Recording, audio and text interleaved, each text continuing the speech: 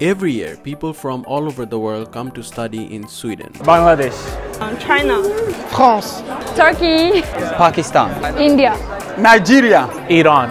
USA. While studying in this diverse environment, students make new friends and have interesting stories to share.